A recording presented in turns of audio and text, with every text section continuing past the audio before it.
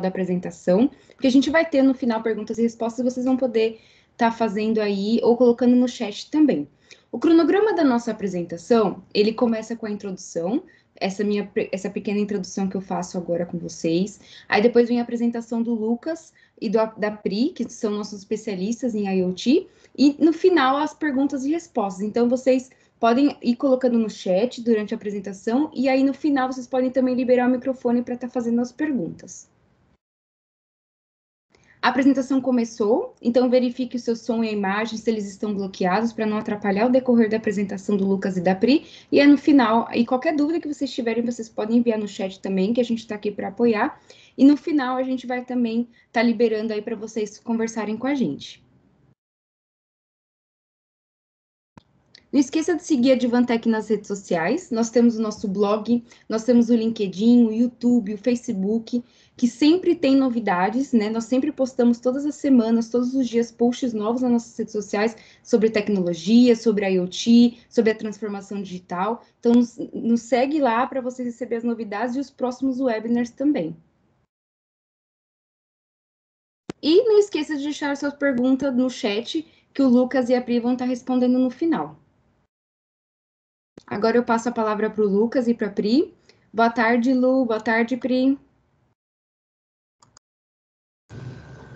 Boa tarde, pessoal. Tudo bom?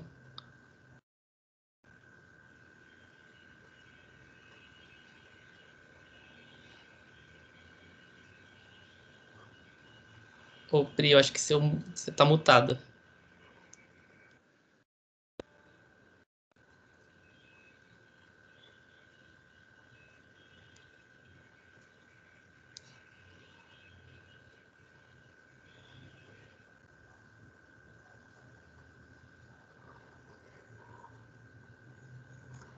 Pri, o seu microfone ainda está bloqueado, mas é para então ir passando para o pessoal um pouquinho da nossa agenda, né? Que vai ser agora a Pri e o Lucas vão estar tá explicando. A gente vai, a gente tem uma agenda da apresentação, então a gente vai falar um pouquinho sobre a evolução do IoT. Depois a gente vai entrar com o conceito, né, de Edge Intelligence.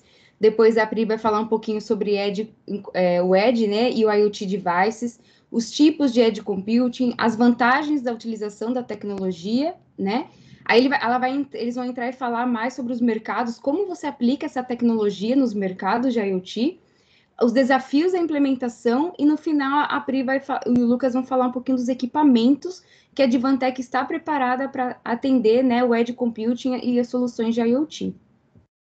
Desculpem, estava com o microfone mutado, agora eu consegui desmutar. É, vocês estão me ouvindo perfeitamente? Sim, Pri. Tá. É, boa tarde a todos. É, agora eu vou dar início à apresentação, falando um pouquinho aqui da agenda. Nesse início, eu vou falar sobre a evolução do IoT, o conceito de Edge, o Edge Computing Devices, as vantagens da tecnologia, os mercados aplicáveis, os desafios de implantação e, por último, nós vamos entrar um pouquinho aqui em quais equipamentos a Advantech pode auxiliar vocês nesse tipo de tecnologia. Então, para começar aqui, vamos falar um pouquinho da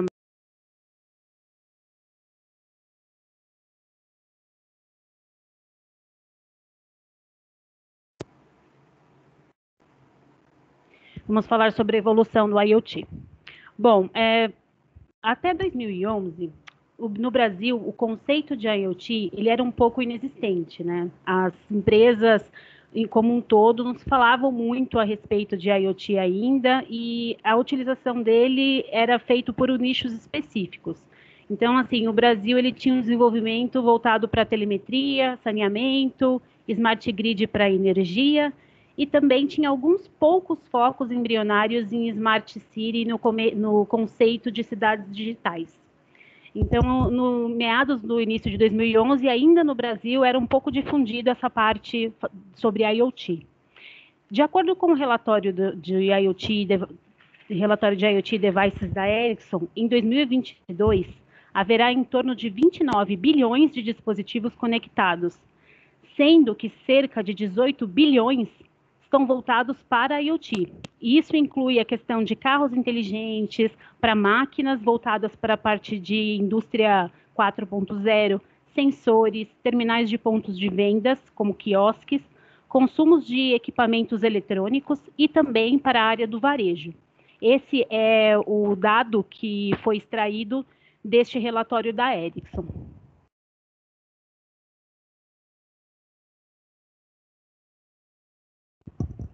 O conceito de, de Edge Intelligence, ele acaba entrando muito na questão da tecnologia IoT. O que acontece? Os dois têm um papel fundamental na transformação do mundo e também para gerar uma evolução na economia global. Essa tecnologia, ela surgiu para lidar com as demandas de processos que são extremamente volumosos e crescentes. A gente pode ver muito isso voltado para o mercado de telecom, por exemplo, né? Essa tecnologia surgiu para lidar com, com para afirmar, já pode se afirmar que, a especial, que, é, que é a especialização do hardware que deve ser usada como um artefato de IoT.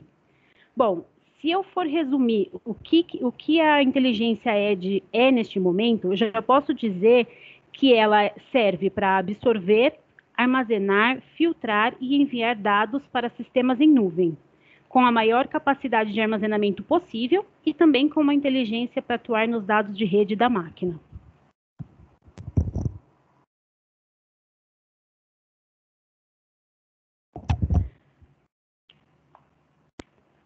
Para falar sobre um pouquinho sobre de como o Edge Computing é, e o IoT podem trabalhar juntos, a gente consegue colocar aqui nessa imagem para a gente pode começar a imaginar, né?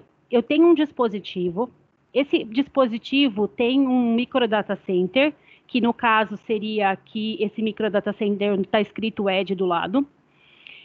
Ele começa fazendo um processamento local, aonde ele puxa as informações de forma centralizada. Então, assim, eu tenho aqui os dispositivos, é, a, a, Internet of Things, né? O carro, a telemetria, é, a parte da indústria 4.0, aonde eu tenho, é, eu puxo a, a, os dados e aí ele faz esse tratamento dos dados exatamente no local onde ele está puxando o dado. Depois ele distribui esses dados para as redes de arquiteturas distribuídas. Aí eu posso colocar ele, por exemplo, para um data coaching, eu posso colocar ele para um machine, machine learning, e efetivamente subir ele para o cloud ou para o data center. É, de qualquer forma, ele faz isso na rede local, aonde ele se encontra, geralmente ele está perto do dispositivo IoT, e depois disso ele sobe as informações. Ele, ele filtra a informação e sobe a informação. Então, é por isso que ele é conhecido como computação de borda, tá? Quais são as vantagens de utilizar um equipamento que possui a inteligência de edge computing? Bom, ele tem, além de todas as, uh, as partes interessantes, né, de análise em tempo real, operações confiáveis, estabilidade de rede, maior segurança, que estão descritas aqui no slide, ele tem o maior processamento em campo, ele tem o maior envio de informações consolidadas possíveis para a nuvem, ele também faz um tratamento de dado em tempo real e acho que é o melhor e o mais buscado pelas empresas é a redução no custo das operações quando a gente fala de dados para nuvem. Os mercados principais onde eu posso fazer esse tipo de aplicação, quando eu, quando eu falo de um mercado de sistemas embarcados, é, eu estou falando basicamente de mercados como telecomunicações, o varejo, o monitoramento de vídeo e CFTV, monitoramento de tráfego, universidades, hospital e autoatendimento de quiosques. Nesse caso, vou falar para vocês dois exemplos de como esse tipo de dispositivo pode auxiliar o negócio. Vamos imaginar aqui uma situação onde eu tenho uma faculdade ou uma, uma escola que tem é, muitos polos em torno de 500 polos. E ele precisa fazer uma, uma, uma transferência de dados, né, fazer uma transmissão para os alunos em tempo real. O que acontece? Esses dados, eles não podem ter latência, né? Eles não podem ficar parando, não pode ficar travando, então os alunos precisam receber isso em tempo real. Para manter essa qualidade de imagem e som. Mas, se eu possuo, possuo um data center para fazer essa transmissão, e de repente acontece uma eventualidade, sei lá, acaba energia, aconteceu alguma coisa que travou o sistema. É, eu vou ter essa transmissão de dados interrompida, eu vou prejudicar o processo de aprendizagem do aluno e também vou prejudicar o, o, o objetivo de negócio que tem a universidade. Então, como que eu poderia utilizar essa inteligência do ED para poder evitar esse tipo de situação?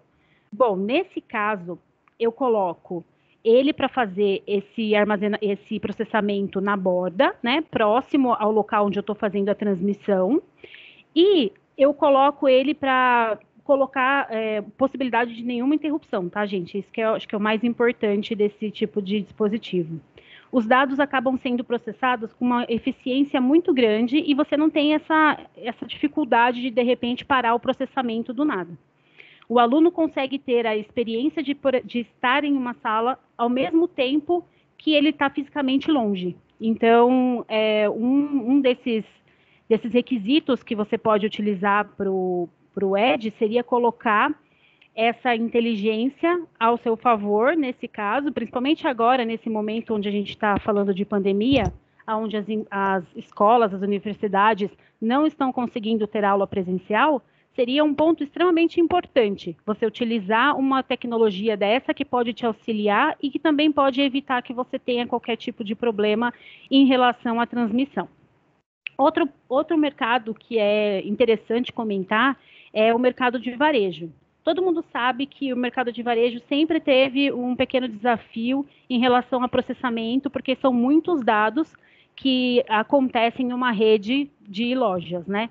Então, é, para poder melhorar isso e facilitar a coleta e análise de dados, além também de proporcionar algumas experiências diferenciadas para os clientes, a gente pode utilizar a inteligência ED. Como que a gente pode colocar isso? Colocamos um sistema de mapa quente, colocamos um sistema de reconhecimento facial e também a gente pode colocar vários, é, várias análises para ser feitas pra, para o lojista. Então, o lojista consegue ter umas análises de dados a respeito de gênero, a respeito de idade, como isso pode auxiliar ele no negócio, onde o cliente entra e fica mais tempo visualizando é, os produtos na loja. Então, é, dá para fazer várias é, aplicações aqui nesse sentido para auxiliar é, o desenvolvimento né, do, do, da aplicação.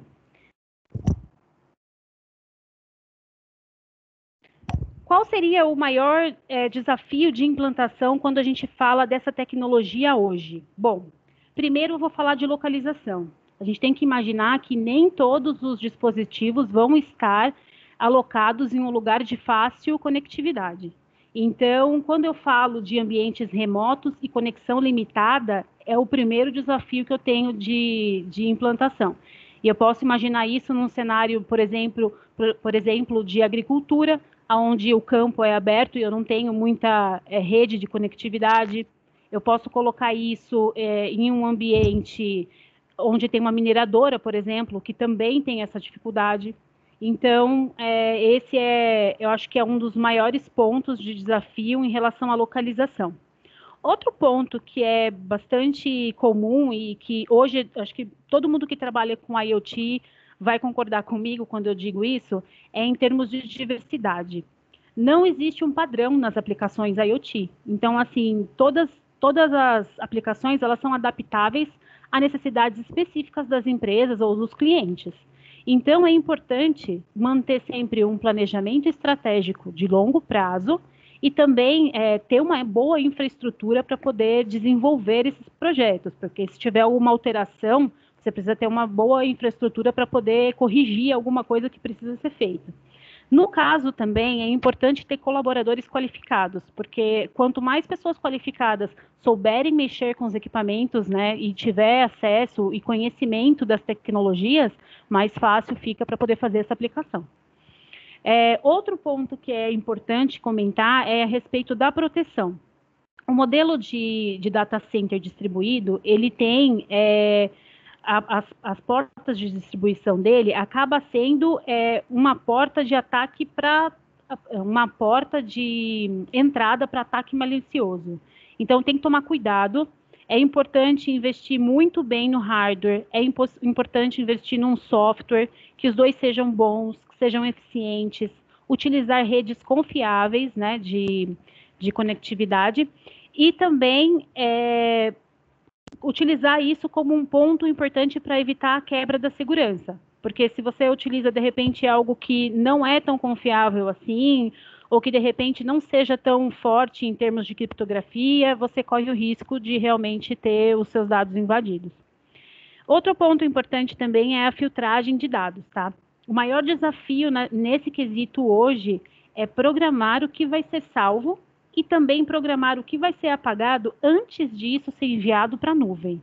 Então, acho que esses são os pontos principais que a gente tem que pensar um pouco em, em relação aos desafios de implantação, mas que são altamente é, contornáveis, né?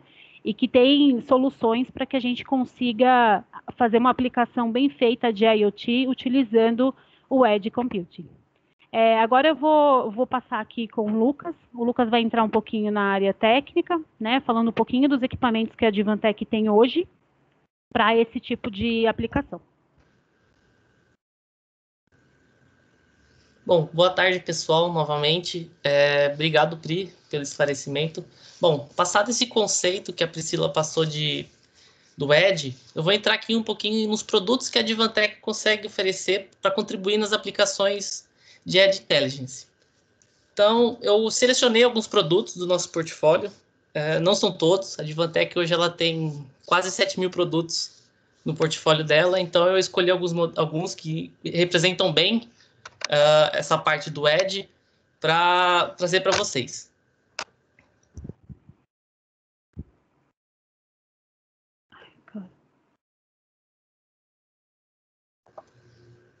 Uh, passando, então, o primeiro produto que eu quero mostrar para vocês são os módulos de aceleração Edge, que são a Vega 320, a Vega 330 e a 340, que são essas plaquinhas que estão aqui embaixo do lado esquerdo. Uh, essas placas, elas contam com uma tecnologia da Intel, o Movidius, o Myriad X. Então, são placas de aceleração gráficas que eu vou mostrar no próximo slide um pouquinho qual é a diferença entre elas, mas que a gente consegue fazer uma aceleração no desenvolvimento de uma inteligência artificial. Mostrando um pouquinho aqui as diferenças entre os modelos, então a gente tem a Vega 320. Essa placa ela conta com um chipset do, do Myriad, tem um form factor M2230. É, em, em relação à Vega 330, o que, que eu posso, o que, que a gente pode notar? A Vega 330 eu já consigo contar com dois chipsets, então é uma, uma placa que tem um poder de processamento um pouco maior. A questão do form factor também muda. A gente vai aí para um full, um full size mini PCI Express. E a Vega 340 a gente já passa a ter quatro ou oito chipsets na placa. Só que a gente já cresce o tamanho dela, já vira uma placa PCI Express X4 low profile. O que eu destaco bastante nessa questão dessas plaquinhas em, é em relação à, à, conectividade em diversas aplicações são a diversidade de, de form factor. Então a gente tem o, o size mini PCI, a gente tem o o M22230, a gente tem a PCI Express, então a gente consegue encaixar em diversos equipamentos. Outros... Outro ponto legal seria a temperatura também, né, Lucas? Isso, exatamente. A temperatura de operação dessas placas, se a gente notar, ela vai aí de menos 20 a 60 para Vega 320 a 340 e de menos 20 a 55 para 330. Então, a gente consegue encaixar em aplicações que demandam tanto baixas temperaturas como temperaturas um pouco mais altas. Outro ponto bastante interessante é o consumo. Essas placas, normalmente, independente da aplicação, ela não pode ter um consumo muito alto, porque eu preciso ter uma, uma alimentação ali via bateria ou energia solar e ela não pode consumir muito. Então, é uma placa que tem um baixo consumo aí pelo que ela entrega de poder de processamento da IA. Outro ponto interessante, a parte do... Peraí, Felipe, volta lá. É a parte do, da dissipação, né? Duas dessas placas têm dissipação passiva. Só a, placa 340, por ela ter um pouco mais de processamento, ela acaba esquentando um pouquinho mais. Ela precisa de uma dissipação ativa. Agora sim. Aqui eu vou mostrar, mostrar um pouquinho, então, das aplicações dessa placa. A gente pegou uma aplicação que a gente colocou cada modelo, mas aí é uma infinidade de aplicações que a gente pode trabalhar. Com a Vega 330, por exemplo, monitoramento de tráfego. Era o que eu estava falando, por exemplo, o monitoramento de tráfego, normalmente os equipamentos eles ficam expostos ao tempo dentro de uma caixa. É, a, a, questão de sol, chuva, então a temperatura fria, então a gente precisa ter uma alta temperatura de operação nessa placa para ela não, não causar algum defeito. A questão também do, do, da potência, ela não pode consumir muito, porque a gente, normalmente a gente está ali com, com uma bateria ou com uma energia solar ali fazendo a alimentação do sistema. Já quando a gente passa para uma análise de imagem médica, é um requisito um pouco maior. Então a gente vai para uma Vega 340 por questão de alta resolução, por questão da densidade das imagens.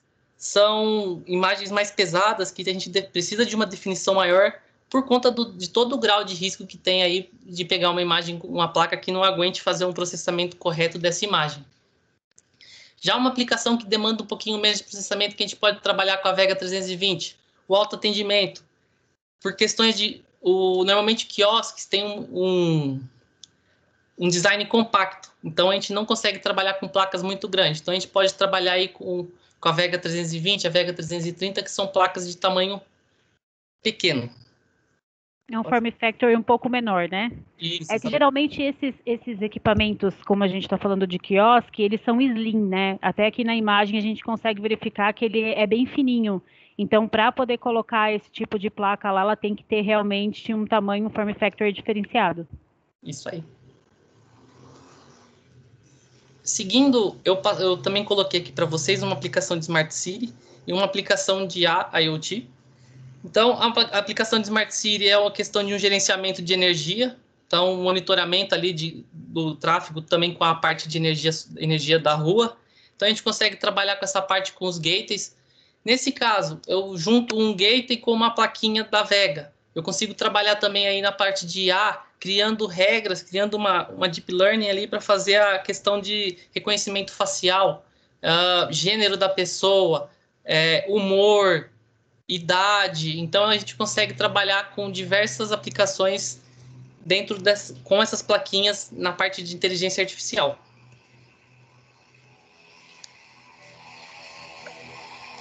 Uh, falando um pouquinho da, dessas Vegas ainda, é, como elas são placas de parceria com a Intel, a Intel ela tem essa ferramenta que é o OpenVINO Toolkit.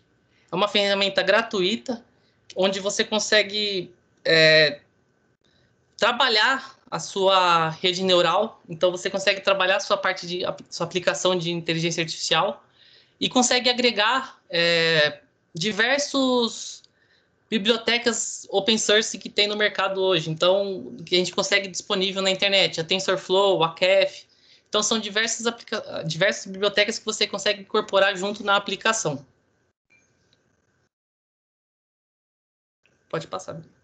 Aqui eu só também só abri um pouquinho é, a questões do dessas bibliotecas e algumas topologias, mas é mais só para conhecimento mesmo, eu não vou não me aprofundar muito nessa questão. É mais para conhecer que a gente consegue trabalhar aí com TensorFlow, com a Kef, com a ONNX. Então são diversas bibliotecas disponíveis aí no mercado que a gente consegue agregar nessa, na, nessas aplicações. Saindo um pouquinho das placas e passando já para o para os PCs, a Advantech ela criou uma linha de Edge Intelligence Servers, ou EIS, que são equipamentos que são capazes de analisar e, e captar os dados, fazer aquele gerenciamento dos dados e levá-los desde a borda do Edge até a cloud ou a nuvem. Então, são equipamentos aí que já vêm é, pré-configurados em alguns casos com a AWS, com a, com a Azure. Então, são equipamentos que a Advantech pensou para fazer a parte do, do Edge e levar isso já direto à cloud. Normalmente, algumas aplicações elas não demandam uh, um poder de processamento muito alto. Então, a gente consegue trabalhar com alguns equipamentos que façam esse processamento local e já envie direto para a nuvem. Eu não preciso ter um servidor uh, mais robusto por trás da aplicação. Eu consigo trabalhar localmente ali e já enviar isso direto para a cloud. E é essa a ideia da Divantec com esses equipamentos. E aqui eu coloquei só três modelos, mas é, são, são outros modelos, tem mais modelos. Eu só coloquei três só para mostrar o quão escalável é a Advantech em relação a, a PCs, aos, aos, aos produtos no geral. porque a gente consegue trabalhar desde um PC compacto, pequeno, um mini PC box ali com um J1900, escalar esse, em questão de tamanho, em questão de processamento.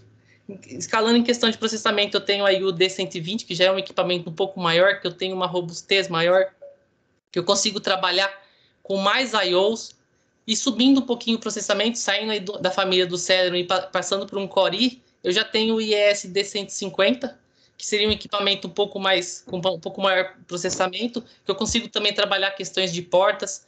Mas o que eu quero mostrar, o que a gente sempre fala para os clientes é que a Divantec é totalmente modular nessa questão. A gente tem diversos equipamentos, então a gente acaba é, o cliente acaba enviando para a gente a solicitação com a especificação. A gente tenta colher o maior número de dados de, da aplicação para a gente enquadrar com o equipamento correto. Então, fica aqui um, um ponto para vocês. É, eu acho que o mais interessante é conseguir customizar, né, de acordo com o que o cliente precisa. Então, eu tenho um gabinete, é, se ele tiver a compatibilidade com o tipo de processamento, com o tipo de armazenamento de dados e com o tipo de de memória que ele está exigindo, a gente consegue fazer essa meio que customização, né, na parte de periféricos para o cliente. Eu acho que esse é um ponto, é um dos fatores mais importantes que a Divantec trabalha nessa parte de prestar uma consultoria para o cliente e auxiliar ele dentro dos projetos que ele tem. Isso, exatamente. Os equipamentos da Divantec, eles não são, vou dizer, engessados, né? Eles não vêm prontos, pré-fabricados, é aquilo e é aquilo. Não, eu consigo trabalhar a questão do do processador em algumas carcaças, eu consigo trabalhar normalmente a questão da memória RAM, da expansão de, de, de algumas expansões de porta, da, do armazenamento de dados, uh, múltiplos IOs, múltiplos IOs que a gente consegue trabalhar também. Questões de sistema operacional, normalmente os modelos tem, aceitam mais de um sistema operacional, então a gente consegue trabalhar com diversas é, é, com diversas opções, na verdade, né? Exatamente. Fugiu a palavra aqui. vou, vou, passar aqui. Pode passar. Saindo um pouquinho do, dos Edge Intelligent Servers, a gente tem o Edge Inference Systems, que são os AIRs. São equipamentos que contam com placas, tanto da Vega como tanto a placa Vega como algumas placas da NVIDIA, dependendo do modelo. E eles foram desenvolvidos aí para trabalhar também com essa questão da modalidade de ser modular. Então, a gente consegue trabalhar com equipamentos com, com, com para quadros interativos, para quiosques, que aí a gente tem um display 4K pra, por questões de resolução, um custo um pouco mais baixo. A questão do transporte inteligente, quando a gente trabalha também é, para tráfego, a gente tem essa questão da temperatura expandida, do processamento ser um pouco mais alto, e algumas aplicações que a gente demanda uma CPU de alta performance, um processamento de alta densidade de imagens, a gente também consegue ter equipamentos que atendam essas, essas aplicações. Eu vou mostrar um pouquinho no próximo slide, um pouquinho das, das características desses equipamentos.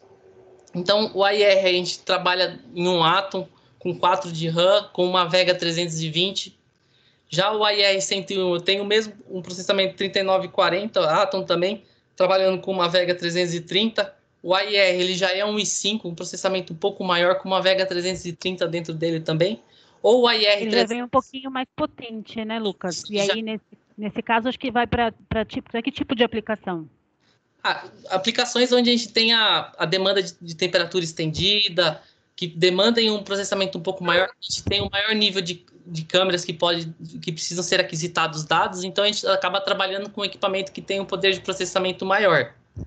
E essa questão do AIR300, que aí eu já tenho o Xeon, eu já tenho o i7 de sétima geração, com uma NVIDIA ali dentro, uh, a gente trabalha com, com aplicações que demandam uma alta densidade de performance. Uh, um ponto interessante, esses equipamentos além deles virem com a Vega, com aquela parte do OpenVINO que eu já passei para vocês, é, eles também vêm com o Edge A Suite, que é um software da Advantech e eu vou falar um pouquinho mais para frente sobre ele. Alguns destaques, então, do Edge A Suite. Ele é um software que foi desenvolvido pela Advantech, tá? Uh, que a gente tem total integração aí com o OpenVINO. Então, a gente consegue trabalhar com os dois ao mesmo tempo. Uh, a gente consegue carregar modelos pré-treinados de inteligência artificial ali, então o cliente não precisa necessariamente desenvolver do zero, ele já consegue pegar alguns modelos pré-treinados. Uh, a gente tem esse assistente de implantação, você consegue fazer tudo através de uma plataforma só. A gente consegue fazer essa monitoração de temperatura de CPU, de GPU, de memória RAM, de como está a performance do equipamento, além também de a gente conseguir agregar é, o SDK de terceiros. Então, não necessariamente é só isso, a gente consegue trabalhar com aplicações dos. passar os SDKs para os parceiros fazerem o desenvolvimento. Pode passar, Pri. Aqui alguns benefícios, então, do EDA Switch. Aceleração do hardware, então a gente consegue trabalhar com aceleração do, da GPU, das CPUs. Uh, o instalador All-in-One, ele é um equipamento que... Ele é um software, na verdade, que você tem um instalador único, então você consegue trabalhar dentro da, da, daquela plataforma todas as instalações, criar, pegar os modelos pré-treinados. Uh, e esse gerenciador EDA é, é aquela questão que eu falei que você centraliza tudo ali também e consegue fazer todo o monitoramento e configuração do equipamento da sua aplicação. Eu coloquei mais um slide, na verdade. Pode falar, Pri. Eu só ia perguntar, no caso desse do Edge aí, ele é um software próprio da Advantech, certo? Isso. Então, é, vamos colocar aqui uma situação hipotética onde o, o cliente precisa colocar o instalador aí um One e de repente ele precisa também ter o gerenciamento. Eu consigo colocar também um software é, à parte para fazer isso? Um software à parte do cliente? Isso. No caso, para manter a questão da segurança. Não. Aí teria que ver questões de compatibilidade do software para ver se a gente consegue instalar tudo isso dentro do, do EDA. Mas teoricamente, não. Ele é um instalador ao One da plataforma com o OpenVINO só. Ah, compreendi. E esse dashboard ele vem junto com esse software da Advantech? Isso, é o dashboard. Aqui a gente consegue ver a questão de temperatura da, da CPU, da GPU, a quantidade de uso da memória, da, essas questões de monitoramento mesmo da saúde do hardware. Muito bom. Pode passar. E o último slide é mostrando essa questão do EDA integrado. A Pri fez essa pergunta: dá para integrar com softwares de outros parceiros? A gente precisa ver se essa parte do SDK é compatível para a gente passar, mas com o OpenVINO, sim, ele é compatível, então a gente consegue trabalhar tanto o EDA e o OpenVINO paralelamente ali dentro, e aí a gente consegue ter uma aceleração dessas questões também das CPUs, das GPUs. Você consegue utilizar as informações que você está tendo da, do guia ali, da, do, da saúde do hardware, para otimizar o seu, o seu equipamento. A gente tem essa questão do bitmarking, que é quando a gente cria uma, uma inteligência artificial, muitas vezes a gente tem que saber qual que é o grau de, de acerto, de depuração que ela tem. Então, com esse bitmarking, você consegue ter uma rápida análise de desempenho, para ver se você precisa realmente modificar alguma coisa ali na sua rede para fazer essa, essa essa, essa rede te dá um resultado melhor.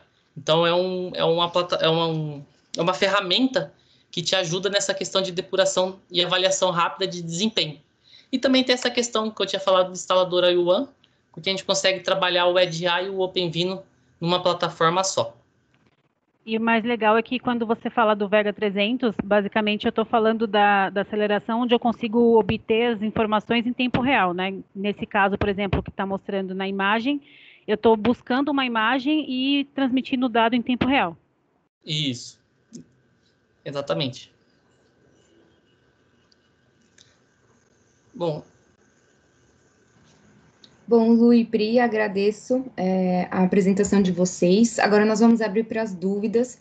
Caso alguém tenha alguma dúvida, é só levantar a mãozinha, que a gente vai por ordem, aí que tem o, um raise your hands, aí na, levante a mão na parte de cima, vocês podem colocar no chat também, tá? E aí a gente vai estar tá fazendo esses é, cinco minutinhos de perguntas e respostas.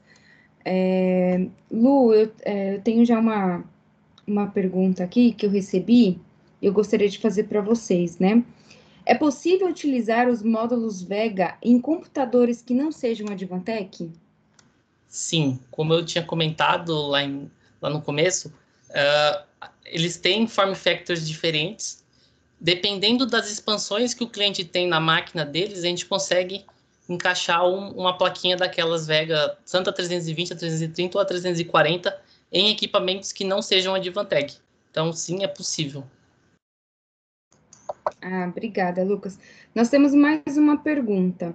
Na aplicação de Smart City, né, cidades inteligentes, inteligência artificial, é, apresentadas, né, na, aqui foi apresentadas agora por vocês, o módulo de, de aceleração ED vem on-board do PC? Não, eu vou responder essa. Na verdade, não. O que acontece é que eu tenho gabinetes, né, de, de diversos tamanhos e também tenho as placas com form factors diferentes. Então, eu preciso ter um slot de expansão compatível para poder incluir essa placa, tá?